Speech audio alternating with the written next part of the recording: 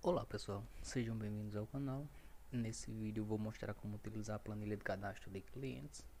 Ela foi desenvolvida até o momento para cadastrar apenas, tá com a parte de cadastro do cliente preenchida, mas outros cadastros estão vazios ainda, assim como relatórios. Essas abas de relatórios estão vazias. Na parte de cadastro, basta clicar no ícone de alterar registros vou inserir um nome,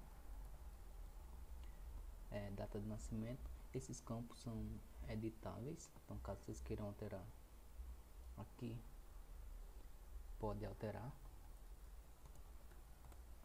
Quando eu venho para cá, ele já vem alterado.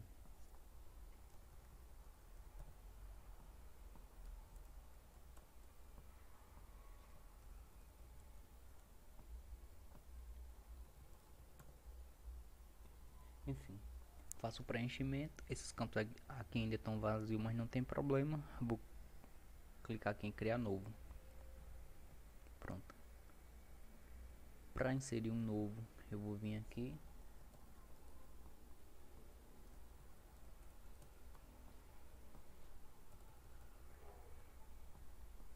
Criar novo. Eu posso também pesquisar.